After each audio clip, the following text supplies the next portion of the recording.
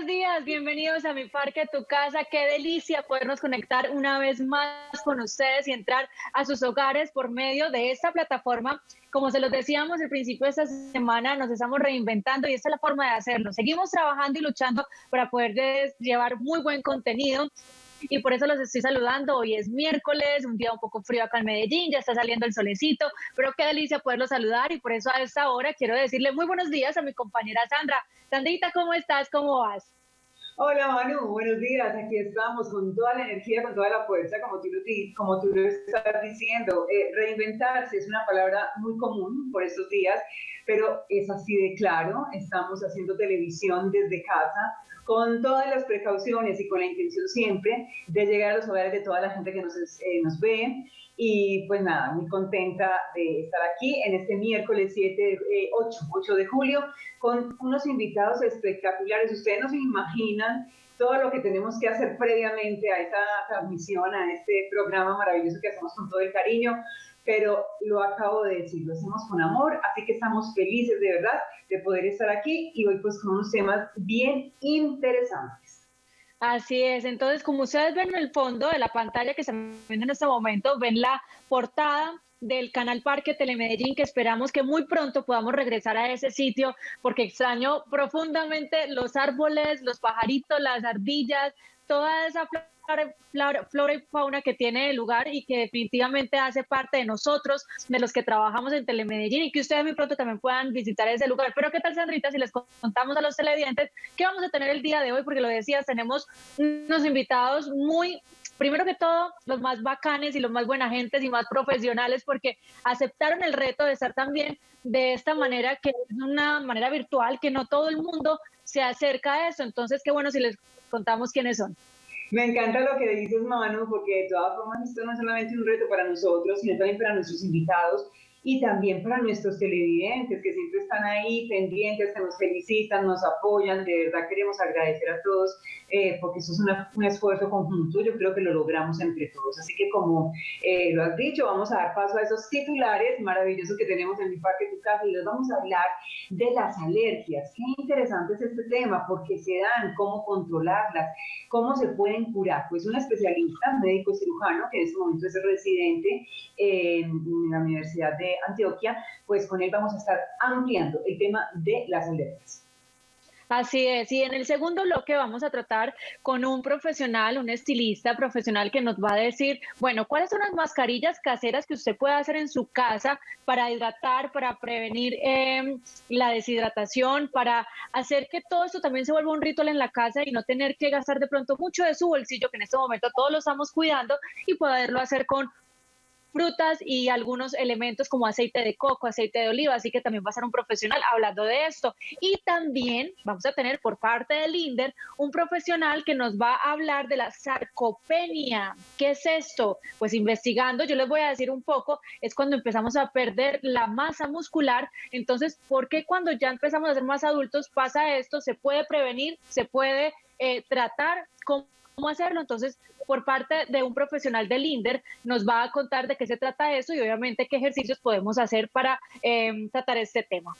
La sarcopenia, atentos, porque vamos a aprender hoy con el profesor del y pues eh, vamos a iniciar eh, ya de una vez, pero antes regalarles esa frase maravillosa que nos gusta aquí en mi parque, tu casa, para iniciar las mañanas con alegría. La que tenemos hoy me gusta porque habla del pesimismo y del optimismo. Y es el pesimista se queja del viento, el optimista espera que cambie, pero el realista acomoda las velas. Entonces vamos a hacer muy realistas en la vida, pero yo creo que hay que ponerle optimismo también a la vida para que vivamos cada vez mejor. Con esa frase, iniciamos de arroba piensa en positivo, gracias.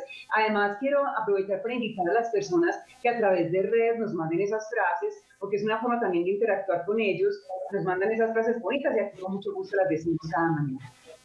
Así es, mi parque tu casa arroba telemedellín.tv es también el correo electrónico donde ustedes se pueden comunicar, donde ustedes pueden mandar esas frases y donde nosotros podemos acá compartirlas con todos ustedes. Como se trata de ser una familia, entonces como familia nos apoyamos y el mensaje de hoy yo creo que nos cae preciso a todos en cualquier momento que estemos pasando de nuestra vida. Entonces, seamos realistas, si la situación no se puede cambiar, entonces acomodemos las velas y nos vamos con la frente en alto y con mucha humildad para seguir adelante. Entonces, bueno, Sandrita, saludemos a nuestro primer invitado.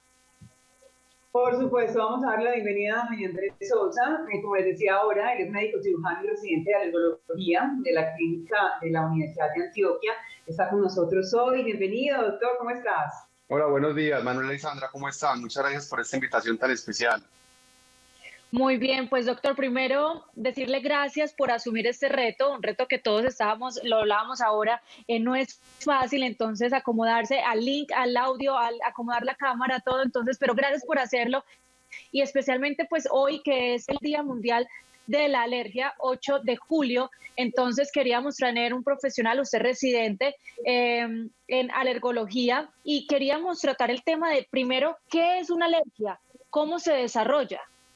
Claro que sí, es muy importante esa pregunta para que partamos de la base. Yo creo que hay muchas personas que no conocen el significado de la alergología. La alergología, quiero definirla primero, es una rama, una especialidad médica que se trata de estudiar todas las reacciones de hipersensibilidad o reacciones alérgicas que podemos tener ya sean del tracto respiratorio, del tracto gastrointestinal, del sistema cutáneo, etc. Es una especialidad realmente nueva en nuestro país. Eh, inició en el 2005. Eh, el creador fue el doctor Ricardo Cardona Villa. Él es magíster en inmunología y especialista en clínica de posgrados de la Universidad de Antioquia. Bien, ahí sí, vamos a ver si recuperamos la señal con el doctor, pero eh, bien como él nos... El tema que tenemos con, que es muy interesante el tema que tenemos con el doctor Jaime Andrés Sousa y como tú lo estás diciendo, pues vamos a tratar de restablecer esa señal. Ya saben que también dependemos un poco de la tecnología. Y que se quede hablando solito, Jaime. Listo, las escucho perfectamente. Listo, nos, nos decías. Entonces, no, les estaba contando que en realidad es muy nueva en el país. En el país tiene alrededor de 15 años. El jefe del posgrado es el doctor Ricardo Cardona Villa. Él es magíster en inmunología y es especialista en alergología clínica. Eh, han graduado 45 especialistas en entonces, para definir, para empezar, definiendo qué es una alergia, tenemos que tener claro que una alergia es una reacción de hipersensibilidad que se produce en el cuerpo hacia un estímulo que normalmente no generaría nada. Me explico. Cuando, por ejemplo, tomamos leche, no tenemos por qué tener una alergia a la leche porque la leche es un estímulo inocuo o inofensivo, pero en los pacientes alérgicos sí van a desarrollar ciertos síntomas que se manifiestan secundarios a esta exposición. Entonces es muy importante, siempre ponemos una analogía y es que un paciente normal que no tenga alergia el sistema inmune reconoce las cosas como lo que son. Por ejemplo, el paciente es picado por una hormiga y su sistema inmune, su sistema de defensa reconoce que es una hormiga, no pasa absolutamente nada, pero el paciente alérgico lo pica esta hormiga y el sistema inmune reconoce que el paciente está teniendo una gran ofensa o está siendo agredido por un elefante, por un animal grande y monta una respuesta alérgica secundaria a esta. Entonces, esto es una alergia, es una respuesta anormal, exagerada y que no se debería dar ante un estímulo que normalmente no debería causar nada en un paciente. Bueno, tú estás diciendo, eh, lo describes además de una forma muy fácil de entender, eh, cuando, por ejemplo, padecemos la picadura de, algún animal, podemos resultar alérgicos o no.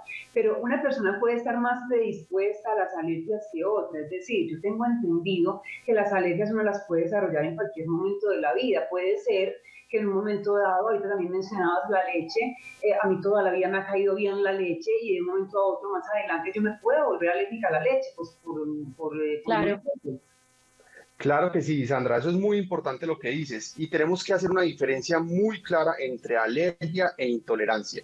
Una cosa es tener una alergia, la alergia está mediada o está disparada por el sistema inmunológico, el sistema de defensa del cuerpo, mientras que la intolerancia ocurre por otros mecanismos, porque nos cayó mal la comida, porque no toleramos la leche, por ejemplo, la intolerancia a la lactosa es muy frecuente en los adultos, después de los 20 años empieza a dar con mucha frecuencia, entonces esa es la base principal para partir. Siempre una alergia está mediada por el sistema inmune o por el sistema de defensas y siempre se debe repetir la reacción cuando me reexpongo a esto. Un ejemplo, yo tengo una alergia a los ácaros del polvo, entonces siempre que yo me exponga a ácaros del polvo, debería tener la misma reacción, los mismos síntomas y los mismos signos que tuve inicialmente. No es que a veces sí, a veces no. Esto casi no ocurre en la alergia. En la alergia casi siempre se obtiene una respuesta positiva cuando nos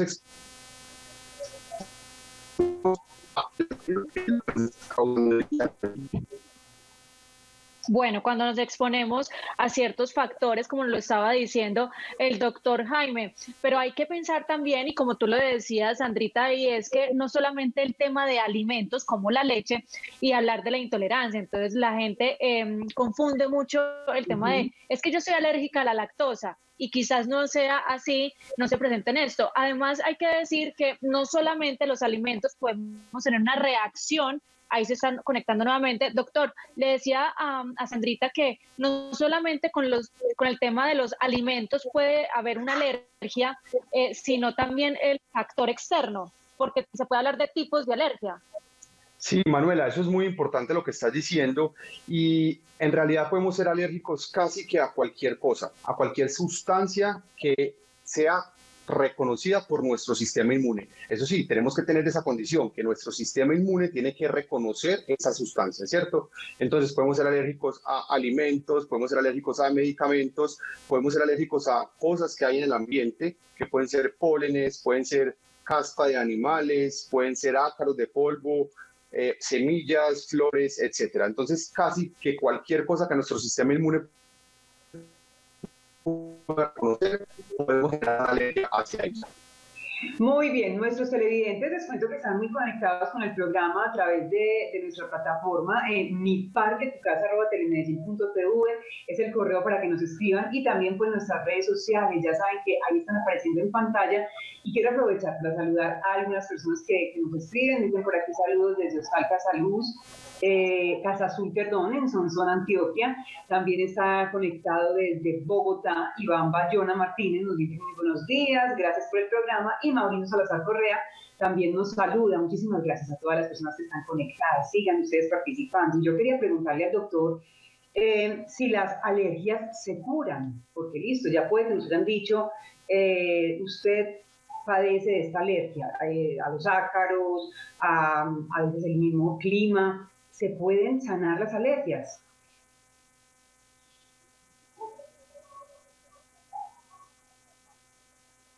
Bien. Entonces, Sandrita, sí, yo creo que es una pregunta muy importante porque es que ahí es cuando uno empieza a decir, puedo prevenirlas, pero entonces ya identifiqué cuál es mi alergia puntual.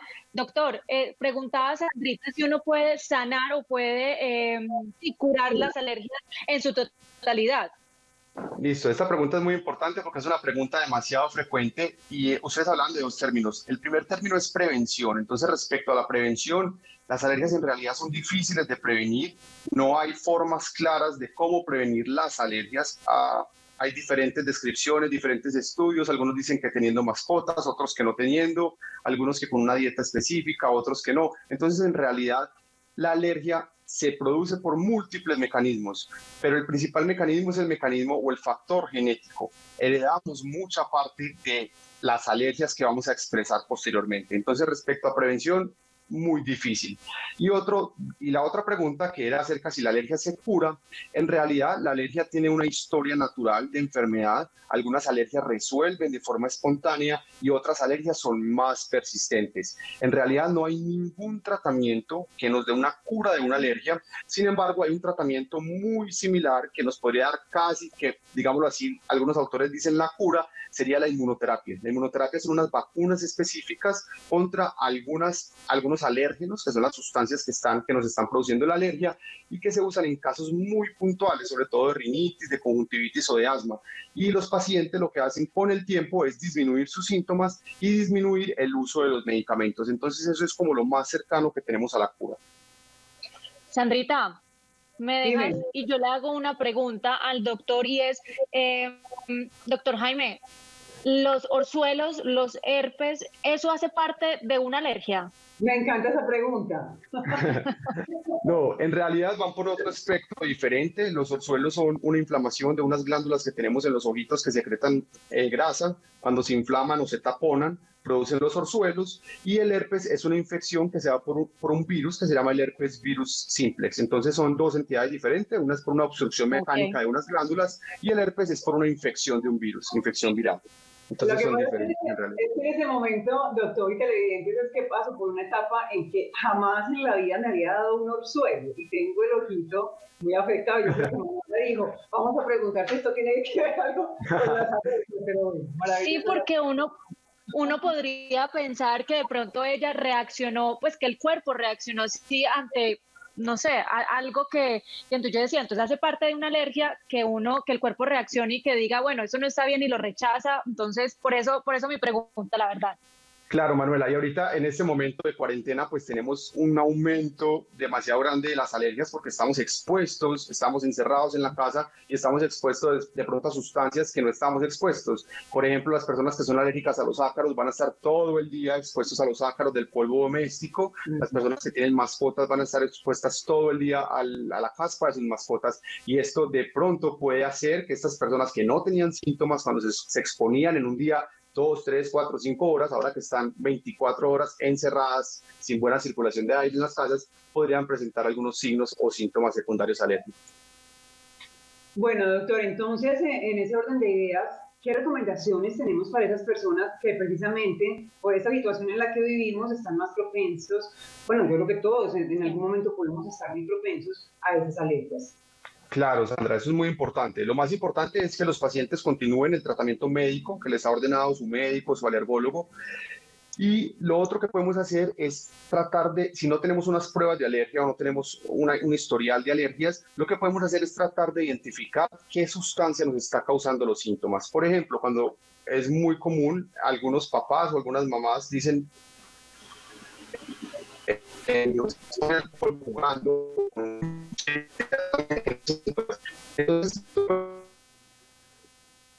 Ay, me quedé con algunos papás, algunas mamás dicen, y, yo dije, ¿qué estará diciendo el doctor? Qué bueno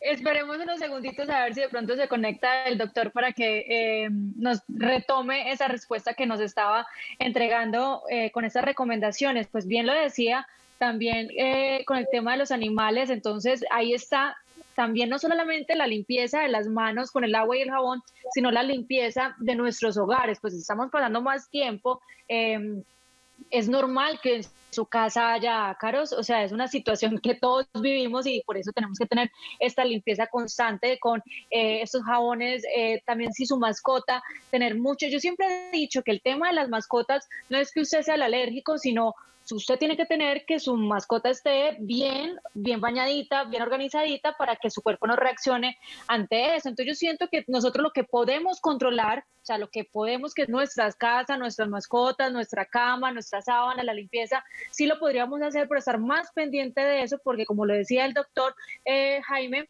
eh, estamos pasando más tiempo y es inevitable que esto suceda y que empiece con esto. Doctor Jaime, bienvenido nuevamente.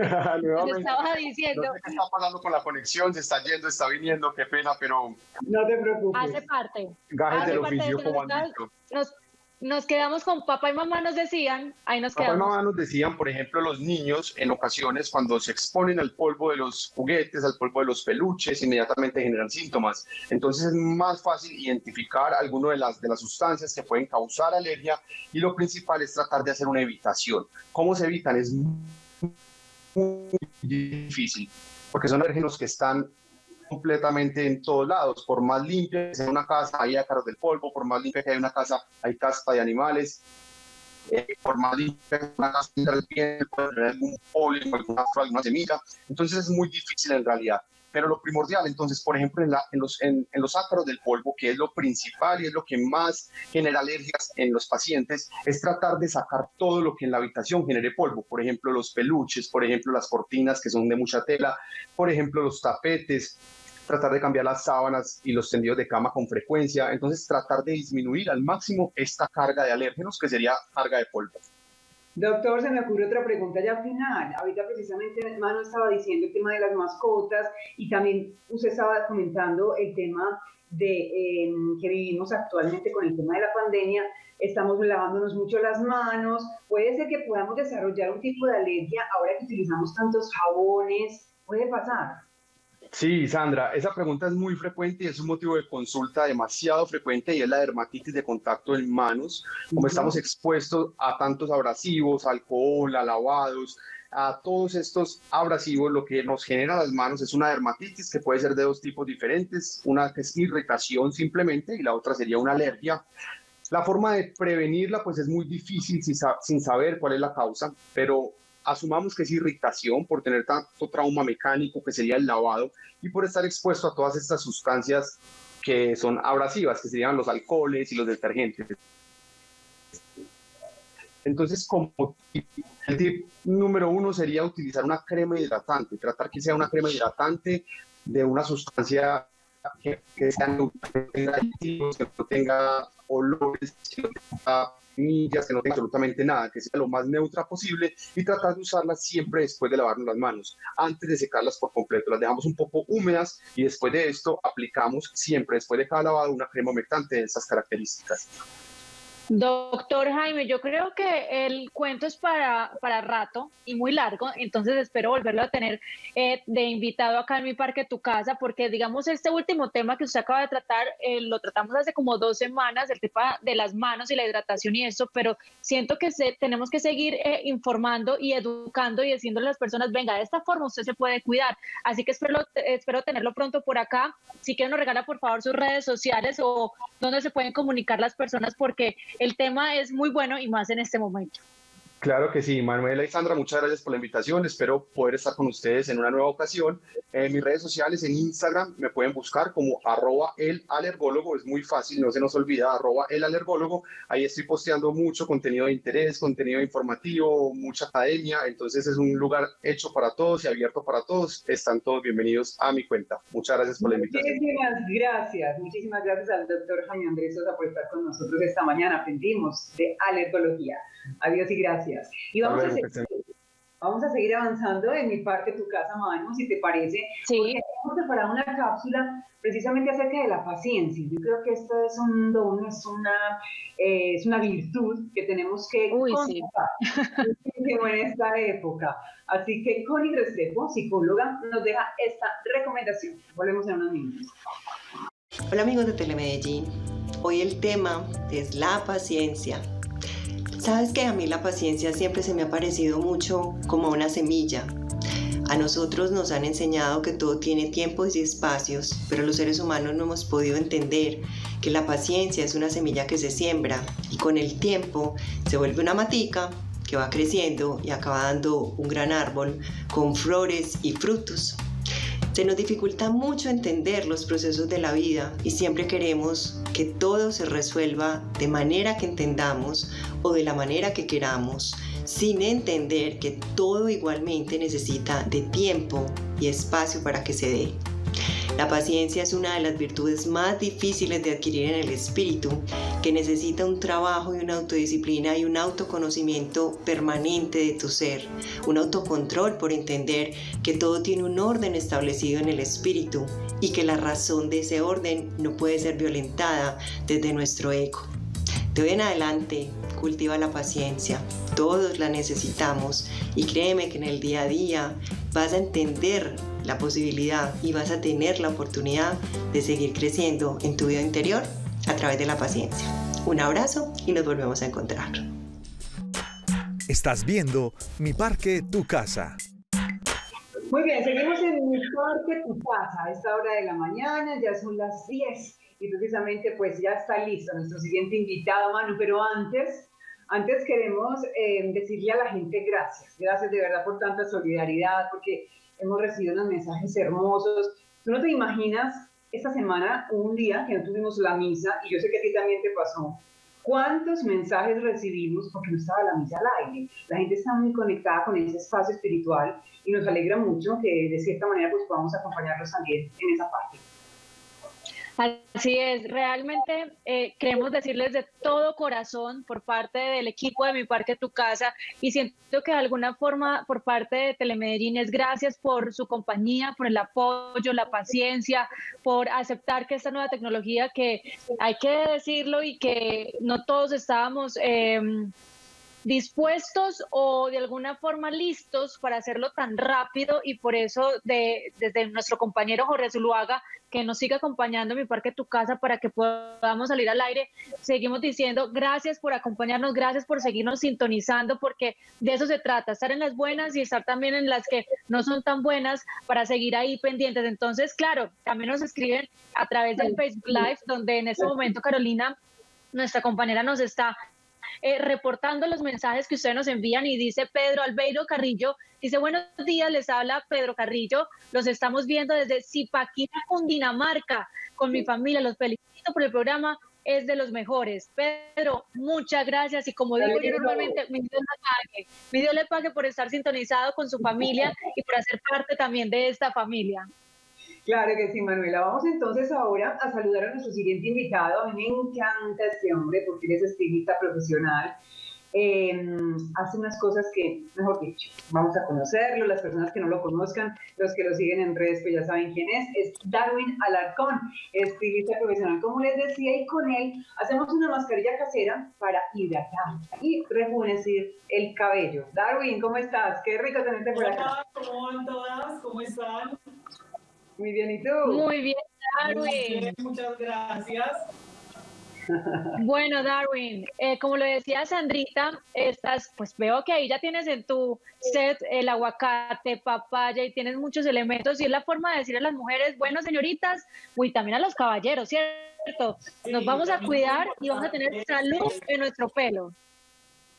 Sí, claro que sí, también es muy importante que nosotros los hombres nos cuidemos el cabello y que más que con ingredientes naturales que todos pueden tener en sus casas, eh, es muy fácil acceder a este tipo de productos, muy económico y además nos va a nutrir y nos va a servir muchísimo para el cabello.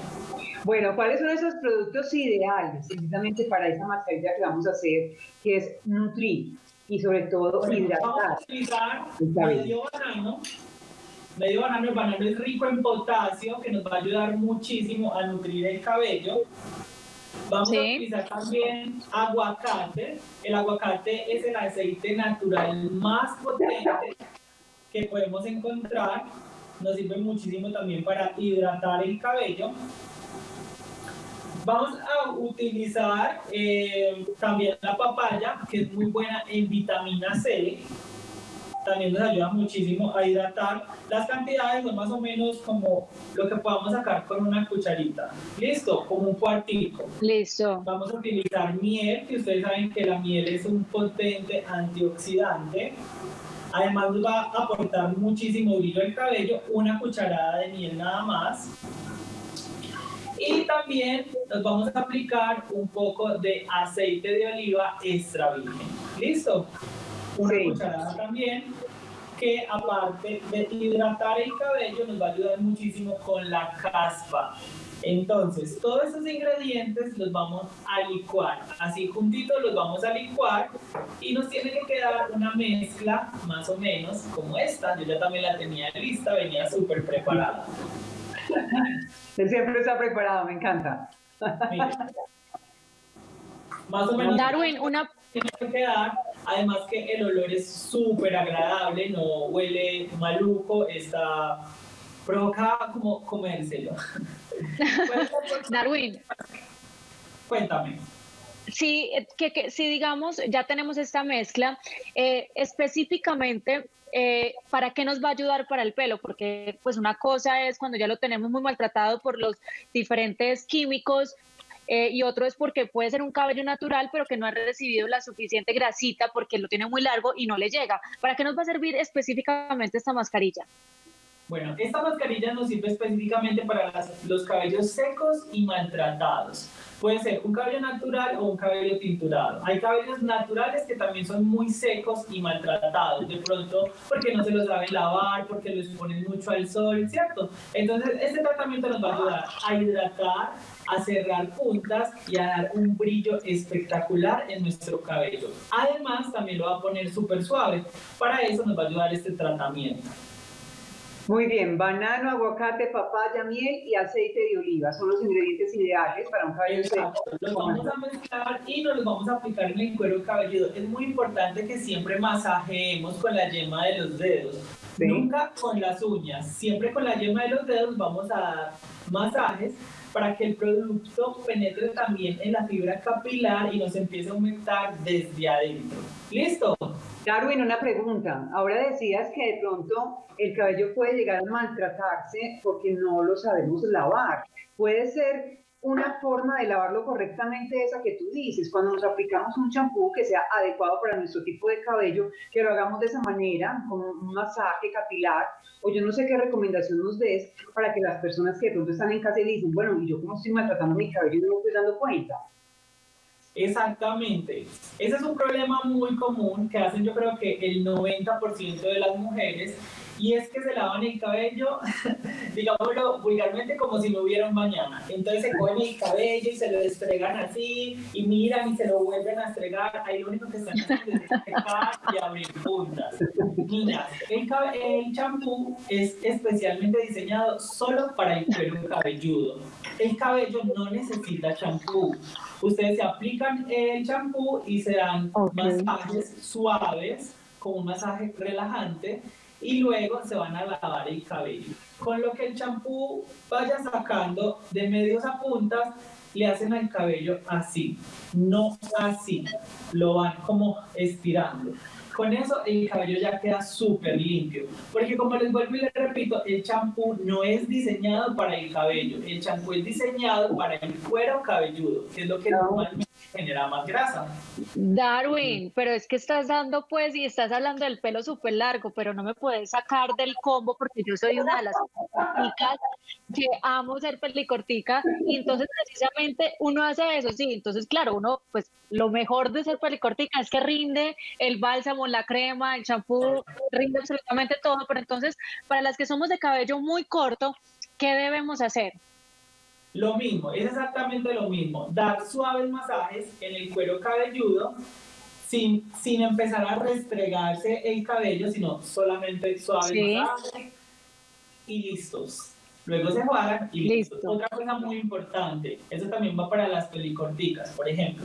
El acondicionador no se debe aplicar desde la raíz. Muchas personas aplican el acondicionador desde la raíz y lo que hacen es como tapar el poro del folículo y a veces como que el cabello se me está cayendo mucho, eh, siento que cuando me peino me sale un montón de cabello, es porque se aplican el acondicionador desde la raíz y esto lo que hace es tapar los poritos y no deja que el cabello respire. Entonces, obviamente, el cabello tiende a caerse. Cuando tenemos el cabello corto, por ejemplo, yo lo que hago es aplicar muy poco acondicionador, porque como lo decía, todos los productos nos rinden mucho en cabello corto, muy poquito y pasarlo por encimita, por encimita.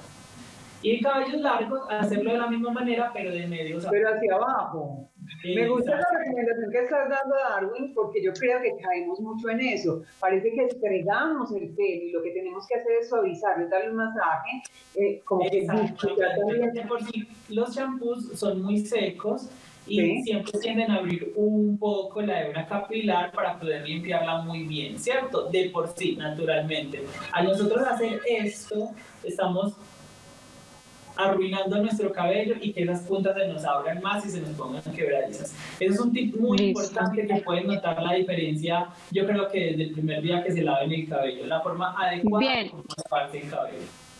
Darwin, entonces retomemos porque ya el tip nos quedó súper claro, entonces retomamos con la mascarilla. La mascarilla la vamos a poner en nuestro eh, cráneo, eh, lo vamos a masajear muy bien con las yemas, no con las uñas. ¿Y cuánto tiempo lo dejamos? Nos vamos a dejar esta mascarilla aproximadamente 30 a 40 minutos. Si quieren un mayor efecto, nos podemos colocar una bolsita, una bolsita que nos sobre del mercado, nos colocamos para que eh, cree un poquito más de calor y penetre un poquito más también en la fibra capilar y esto nos ayude a que el tratamiento sea más efectivo. Darwin, em, ¿existe alguna indicación en qué momento hacerlo? Es decir, tengo el cabello limpio, tengo el cabello sucio, ¿en qué momento eh, debe ser? Esta mascarilla se debía hacer con el cabello totalmente sucio. Es decir, me toca lavarme el cabello mañana o hoy mismo. Entonces me la aplico, la dejo mis 30, mis 40 minutos, luego voy, me lavo el cabello como ya les expliqué, me aplico acondicionador y en serio que los resultados van a ser increíbles. A veces gastar un montón de dinero para tener un cabello saludable. Con estos ingredientes que son súper fáciles de conseguir, lo podemos hacer. Así es, Darwin, una pregunta, ¿cada cuánto nos debemos hacer esta mascarilla? ¿Una vez a la semana, dos veces a la semana? No sé una vez a la semana. Lo recomendable es hacerlo una vez a la semana. ¿Listo? Perfecto. Listo. No, yo tengo una pregunta. Yo veo que ahí en la licuadora te sobró un poquito. Esa es mi pregunta, Reila, siempre, porque es que a uno siempre le quedan los poquitos. Entonces, el poquito lo voto porque realmente ya no me va a servir, porque como son frutos, entonces lo puedo guardar. ¿Y cómo lo debo guardar? Porque es que, ¿para qué? Pero nosotros los antioqueños, o yo creo que los colombianos, somos de guardar los poquitos. ¿Sí es correcto hacerlo? Es correcto hacerlo, pero no puede durar más de tres días. Eso a los tres días ya no funciona. Se puede vinagrar porque como tiene productos, entonces eh, no, no recomiendo que lo guarden más de tres días. De pronto lo guardan tres días y a los tres días se lo aplican a la mamá o se hacen un retoque de pronto ustedes mismas cuando se vayan a, a ir al baño, porque esto lo que hace realmente es hidratar y humectar. No pasa nada. Yo lo recomiendo hacer una vez a la semana pero si pues le sobró, como en este caso, lo podemos guardar y a los tres días lo podemos volver a utilizar normal. ¿Listo? Muy bien. Pues Darwin, siempre es un gusto hablar contigo, siempre es un gusto aprender porque nos das unos tips maravillosos, sobre todo lo que le has hecho mucho énfasis, productos que tenemos en casa, mascarillas que al final no nos van a resultar muy costosas y que finalmente pues de todos esos productos naturales van a tener en nuestro cabello pues, un efecto maravilloso. Gracias por estar con nosotros, Darwin. Una recomendación final. Claro que sí, muchísimas gracias a ustedes por la invitación. Y bueno, una recomendación final es que como les dije anteriormente, siempre aplicar el champú adecuadamente, el acondicionador de medias a puntas y una última cosa es siempre, siempre, así sea algo económico, así sea eh, aloe vera, cualquier cosa, siempre después del champú también aplicar un buen tratamiento para hidratar ese cabello y que no se nos opaque ni que se nos vea sin vida ni sin brillo. Siempre es indispensable algún tratamiento. ¿Listo? Muchísimas gracias. Darwin, muchas gracias. Ahí estaban las redes sociales. por la invitación. Chao, gracias. Sandrita, ya vio, usted que tiene el pelo larguito y que se puede hacer así, ya sabe que no se puede hacer, simplemente un masaje. Con cariño. Eh, además, porque yo me acuerdo que cuando yo tenía el cabello largo y a mí me decían como que se lo debe peinar o cepillar todas las noches, muchas veces, para que estimule el crecimiento. Yo no sé si eso sea cierto o no, una buena pregunta para que podamos tener como el tema del crecimiento. Y es eso, y tiene toda la razón, porque lo que hacemos es que como que restregamos como si, si tuviéramos pues mucha grasa o no sé, y es un pequeño masaje como lo aprendimos del de estilista profesional Darwin Alarcón. Bueno, Sandrita, tenemos otro invitado que también hace parte de Mi Parque Tu Casa. para seguir con buenas recomendaciones, él es Giovanni Delgado, que siempre viene a traernos pues sorpresas, no sé con qué viene esta mañana. Giovanni, ¿cómo estás? Sandra, Manuela, televidente, muy buenos días, muy bien, gracias. ¿Y ustedes? Muy bien. Muy bien, Joanny, pues feliz de tenerte por acá también en esta plataforma. Joanny, bueno, tenemos la Vita Francesa. Cuéntanos de qué se trata este producto y por qué es tan maravilloso. Claro que sí, este Sandra Telentes es nuestro producto estrella, estaba agotada, ya volvió y es un producto que ustedes televidentes tienen la oportunidad de tener hoy en su casa. La Vita Francesa Televidentes es un producto natural, 100% natural. Y hay algo que nos encanta decir de la Vita Francesa, que es el producto más recomendado para casos de cansancio severos, de cansancio y agotamiento severos. Cuando hablamos de cansancio, de agotamiento severos, hablamos de algunas labores que, que lo propician conductores, incluso amas de casa, que es un, es, un, oficio que exige muchas horas de labor al día, empresas de manufactura, personas que trabajan en el comercio, de sol a sol, y que por, por estos mismos, digamos, oficios tienden a, a, padecer todas las consecuencias del cansancio, que son muchos, Sandra y televidentes, Manuela, mm, mal dormir, ¿cierto?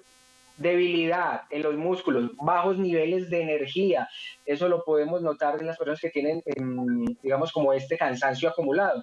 Mm, y muchos otros síntomas propios del cansancio, como el estrés, el mal genio. Lo bueno, televidentes, es que Vita Francesa se les presenta como una solución integral y 100% natural para las personas. Es muy fácil de tomar. La Vita Francesa con dos pastillas al día, una en la mañana después del desayuno y otra en la noche después de la comida, es suficiente. Esa es la dosis recomendada por los expertos y lo van a empezar a sentir de muchas maneras. Eh, Sandra y Manuela. Mm, niveles de energía altos, esos dolores focalizados que, que van apareciendo propios del cansancio, el estrés, van a empezar a desaparecer. Y sobre todo, que es, digamos, como una de las cualidades más grandes y los beneficios más altos de la vida francesa, y que además es un padecimiento que sufren muchos de los colombianos, la cifra está del 85% para arriba, padecemos de un mal dormir, es decir, no tenemos un sueño de calidad, eso lo puede lograr la vida francesa, hace que el sueño sea más profundo y reparador. Esa es una de las grandes, eh, digamos, soluciones que viene a ofrecer la vida francesa a todos aquellos que la consumen. Maravillosa la recomendación. Giovanni. Sí, así es, Giovanni. ¿Y qué tal si tú nos das como esa promoción o ese gran, pues yo sé que hay promoción y hay regalo porque ahí está viendo algo diferente la Vita Francesa que nos tienes para entregar a nuestros televidentes de Mi Parque Tu Casa y de Telemedellín. Claro que sí, Sandra, Manuela, televidentes, la promoción está buenísima y para no perderse. Normalmente un tarro de Vita Francesa por laboratorio tiene un costo de alrededor de los 30 mil pesos, sin contar con el envío y generalmente pagarlo con tarjeta de es decir, que genera un costo elevado. Hoy traemos ante ustedes, televidente, la posibilidad de que la tengan en la casa solo por 49.900 pesos. ¿Y qué se van a llevar? Se van a llevar cuatro tarros de Vita francesa, cuatro frascos, cada uno viene por 30 pastillas, es decir, que son 120 pastillas de Vita francesa. La puede tomar toda la familia, no tiene ningún tipo de contraindicación. Y la promoción especial, como podemos ver aquí hay un parlantico, las primeras 23 llamadas que llamen al 609 0110 609-0110 van a tener la posibilidad de llevar este parlante Bluetooth. Tiene muy buen sonido, recibe memoria micro SD, radio FM, memoria USB, funciona por Bluetooth. Aquí lo estaba reproduciendo a través del otro celular. Mm, así que anímense, o sea, es una promoción para no dejar pasar cuatro frascos de Vita francesa, 120 pastillas, domicilio gratis a todo, todo Medellín área metropolitana y un pequeño recargo a nivel nacional, cuatro frascos de vista francesa, más el espectacular parlante Bluetooth, eh, radio FM, memoria USB y micro SD por 49.900. 609-0110, 609-0110 y 310-513-4100 Allí también pueden escribirnos por WhatsApp, llamada perdida, la vamos a devolver con el mayor de los gustos, nos tienen un poco de paciencia, una a una las iremos devolviendo. Se los repito por última vez para que no nos dejen pasar. Sandra, Manuel y Televidentes, 609-0110, 609-0110 y WhatsApp llamadas perdidas, 310-513-4100. Perfecto, Giovanni, muchísimas gracias por esta recomendación que nos dejaste esta mañana. Estamos incursionando en la tecnología, ya mira, eh, nos veíamos en el parque más seguido, vamos a volver a vernos pronto seguramente, pero agradecerte también porque tú estás en casa, nosotros también, y cuidándonos todos con estos productos maravillosos. Gracias por estar con nosotros en, en este Gracias por la invitación. Un abrazo, que esté muy bien, Giovanni. Bueno, ¿qué tal eh, si hacemos una pequeña pausa chiquita y ya regresamos con más temas aquí en Mi Parque Tu Casa? Ya volvemos, no se muevan. Estás viendo Mi Parque Tu Casa. Mañana hermosa en la ciudad de Medellín vamos a finalizar Mi Parque Tu Casa con un tema bien importante que habíamos anunciado al principio, porque sobre todo vamos a aprender, Manu, se llama la sarcopenia y mucha gente dirá, ¿qué es eso de la sarcopenia? Pues para eso hemos invitado a Jaime Andrés Gil. Jaime Andrés es profesor del INDER y seguramente muchas señoras y señores que se conectan cada mañana a los de al Aire y todo eso que hace el INDER, pues están ahí, pendientes para conocer este tema que traemos hoy. José Andrés, buenos días, ¿cómo estás? Muy buenos días para Sandra, para Manuela y para todos los televidentes. Muchísimas gracias por la invitación. Espero que también estén muy bien. Profe, pues tengo que decirle que está en un chat muy bonito, lo envidio, envidia de la buena, si se puede decir. Muchas gracias por estar acá en mi parque de tu casa. Eh, preciso estábamos hablando de eso, la sarcopenia. Pues eh, investigando y consultando veíamos que es la pérdida de masa muscular, pero ¿cómo eh, extender, digamos, este significado para que ustedes por favor nos lo entreguen? Efectivamente, Manuela, la, la sarcopenia es la pérdida progresiva de la masa muscular. Y esto se empieza a dar en, en, edades avanzadas, es cuando ya entramos entre los 50, 60, 70 años. Y entre más vamos avanzando en la edad, más progresiva se va haciendo la pérdida de la masa muscular. Bueno, eh, Jaime, una pregunta. Eh, o sea, ¿todos alguna vez entonces vamos a padecer la sarcopenia o no necesariamente? Depende también de los hábitos que tengamos en la vida. Por ejemplo, si somos personas que nos ejercitamos con frecuencia, vamos a retrasar un poco eh, que aparezca esa pérdida de masa muscular. Exactamente, exactamente. Esa es, esa es la única clave que existe hasta el día de hoy. Inclusive ni siquiera hay fármacos para tratar la sarcopenia ni nada de eso.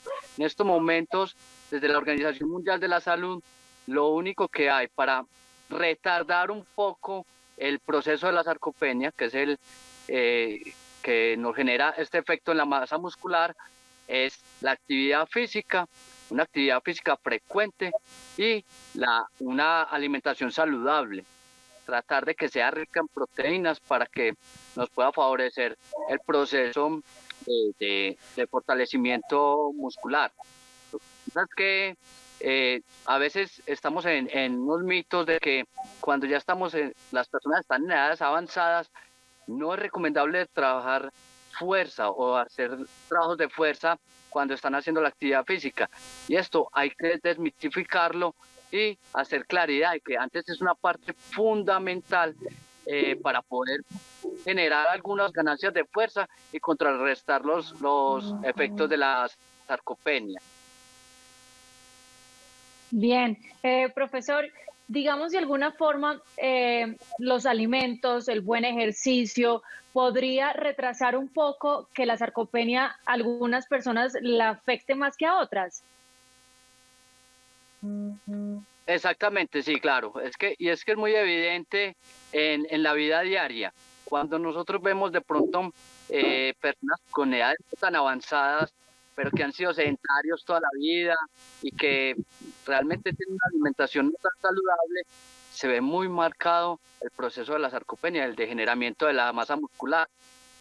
Por eso normalmente eh, ah, pues podemos observar en algunas personas que cuando ya están en edades avanzadas empiezan este proceso de curvarse hacia el frente, ¿cierto? Porque, porque la masa muscular del abdomen y de los electores de la columna ya han perdido su fuerza y han perdido eh, su función como tal y empiezan a generar un desdoblamiento o una flacidez, que es lo que llaman también.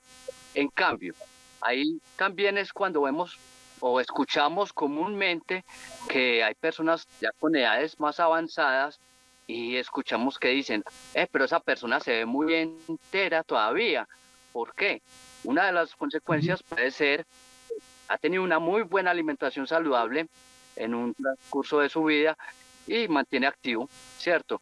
la actividad física realmente es una de las partes eh, que, que nos puede generar, que nos puede prevenir en muchas enfermedades e incluso ya cuando las padecemos es uno de los mejores tratamientos que puede haber. Ojo, siempre, siempre de la mano tiene que ir la actividad física con una alimentación saludable. Si, si usted no, no los combina de buena manera, o mejor dicho, por un lado la actividad física y por el otro lado la, la alimentación saludable, pues los resultados no van a ser los más óptimos. Bueno, son importantes las recomendaciones que nos está dejando hoy Jaime Andrés Gil, profesor del INDER. Hoy hablamos de un tema que es la sarcopenia y sobre todo pues él habla de la alimentación saludable, de hacer ejercicio. Yo creo que ahí podríamos también incluir la higiene postural. Eh, decías ahora que nos vamos encorvando a veces eh, con, con el paso de los años, pero incluso también cuando trabajamos en oficinas con el computador en fin, yo creo que son muchos factores los que están ahí, así que yo quiero que ya finalmente, eh, Jaime, nos dejes esa recomendación final. Eh, hablábamos un poquito antes de que el ejercicio anaeróbico es mejor que el, aeróbico en este caso. Eh, ahí muy brevemente que nos digas eso para finalizar. No, pues también, también hay que ser claridad que el ejercicio aeróbico es, fundamental para poder usted mantener un estado físico óptimo la cuestión de la frecuencia cardíaca, la frecuencia respiratoria, ¿cierto? Es fundamental. Lo que pasa es que lo que, lo que no se debe hacer es separarlo. Ah, no, solamente voy a trabajar, eh, trabajar, voy a realizar trabajo aeróbico o solamente voy a realizar trabajo de fuerzas. Es que la parte de la actividad física se debe ser integral, ¿cierto? Trabajar en las diferentes áreas que nos fortalezcan los diferentes sistemas que componen el cuerpo. Y definitivamente, lo que hay para contrarrestar este tipo de patología, la actividad física, la alimentación saludable. ¿sí? Sacar de la cabeza. Profe. Hola. Sí, no, profe, eso, termine la idea, sacarse de la cabeza sacarnos de la cabeza que las personas adultas no pueden realizar trabajo de fuerza. Es, es casi que... Es casi como una obligación. Totalmente, totalmente de acuerdo con eso. Y obligación y hacerlo desde muy jóvenes. Eso no se trata que cuando ya estamos en, el, en, en, esta fase eh, mayor de, del crecimiento, entonces decimos ahí es cuando nos ponemos las pilas, no, desde muy jóvenes. Profe, muchas gracias por estar aquí en mi parque, tu casa. Ahí veíamos que a través del Facebook está la información del INDER, eh, donde pueden ustedes participar en las diferentes actividades que tiene el INDER de Medellín para todos nosotros. Así que ahí lo estamos viendo en pantalla. Eh, muchas gracias gracias, profe, por estar aquí en mi parque, tu casa. Muchas gracias a ustedes por la invitación, que estén muy bien, se cuidan bastante. Muy bien. Y muchas gracias, lo mismo. Nos vamos volando, hermano, porque estábamos aquí tan contentos que se nos pasa mucho el tiempo y la gente está ahí esperando para eh, seguir entregando otros contenidos de Telemedellín. Manu, gracias por tanto, todos nuestros amigos. Un abrazo. abrazo Nos vemos mañana. Gracias, gracias. Nos vemos mañana, nueve y media. Chao, que estén bien. Ciao.